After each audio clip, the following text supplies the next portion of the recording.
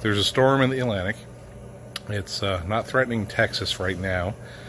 It would have to take a, some interesting turns away from its planned path to get here, but it definitely uh, brings up some reminders of some storms we've been through and some problems we had. Most notably with fuel, gasoline. Um, we got a generator to run a window unit AC in case our electric goes out. And gas won't be available for a week or so. So uh, one gallon of gas just isn't going to cut it.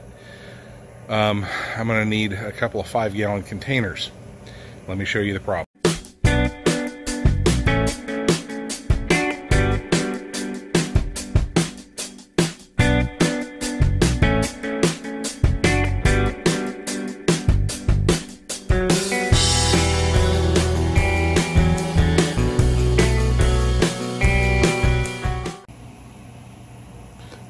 Due to EPA regulations, there's no vent on this can, and I'm going to have to use both hands, but uh, the vent is included in the spout, and it doesn't really work. Let me show you. And there you go. There's the uh, vent, the spout vent. It comes up into the base here.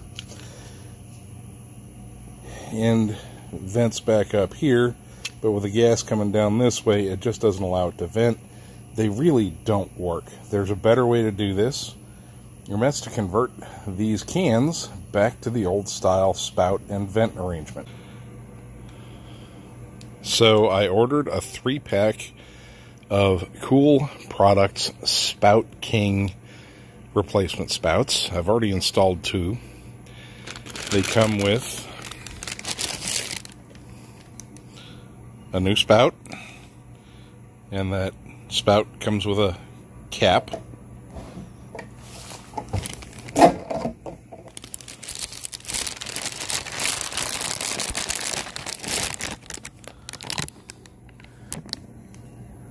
A cap to go over the spout end which I already put on. And then your regular spout cap in two sizes. Is easier to do when I'm doing it two-handed. Um, so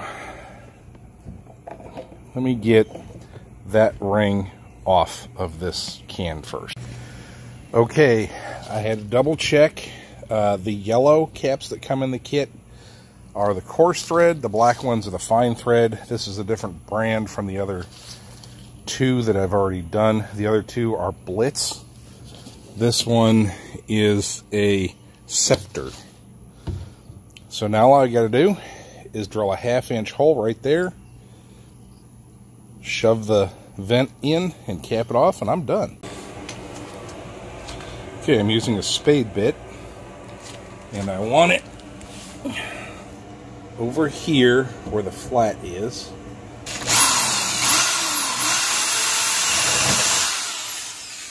Simple as that. Okay, well I still have one of these cans left to do. I just wanted to show you there's three of them done. The fine thread are the Blitz, and they've got the uh, black caps. Coarse thread is the Scepter, and it has the yellow cap.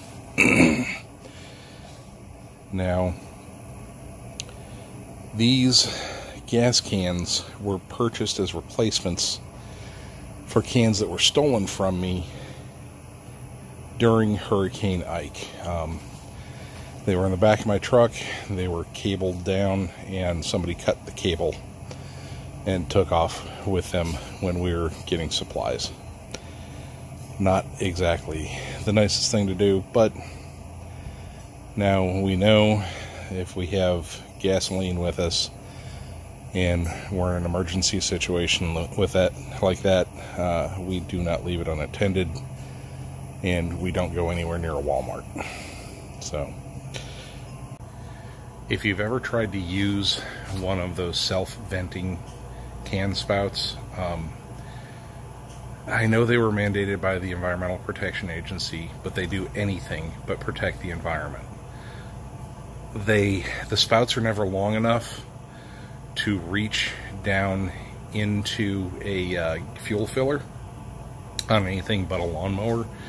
Um, if you're trying to fuel up a car, you're going to need to just, well, pop the cap entirely off, use a long funnel, and uh, let the vapors go where they will. Uh, it's a really bad idea, and uh, going back to the traditional style, at least somewhat controls the vapor release, and you're a lot less likely to have spillage. So, whoever at the EPA came up with this, you know, these uh, self-venting mandates, really, really needs to reconsider what they did. This is actually one of those situations where they made the problem worse rather than better. Um, I have one more of these to fix, and then uh, I'm done. Um, they're good to go. I really don't think I'm going to go through more than two gallons of gasoline a day with the generator. So, uh, really, the three that I've got now should be more than enough. Just uh, make sure I've got the car filled up and uh, make sure these are filled up. And uh, come whatever, I'm good. All right. Well, hopefully, this helps someone out. Thanks. If you like my videos, remember to like, share, and subscribe to my channel. Feel free to go back into the old catalog by clicking my channel and then clicking on the videos link. There's lots of decent stuff back there you may be interested in. And like I always say to you folks, be busy, be productive, be safe, but most of all, be blessed.